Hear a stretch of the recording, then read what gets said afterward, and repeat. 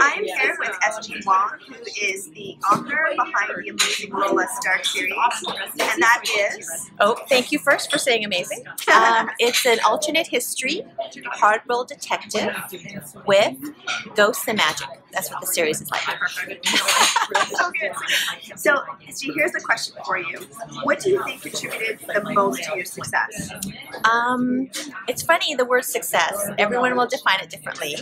In terms of where I'm at in my career, I would think um, patience. patience, no one likes that one. And um, horribly, it's a cliche, but hard work. And writing what I love. Oh, that's perfect. Yeah. That's really good. So, is that your best advice for, for people who are up and coming in the industry to write what they love? Absolutely. Absolutely. Because if, if you're bored with it, everyone can tell.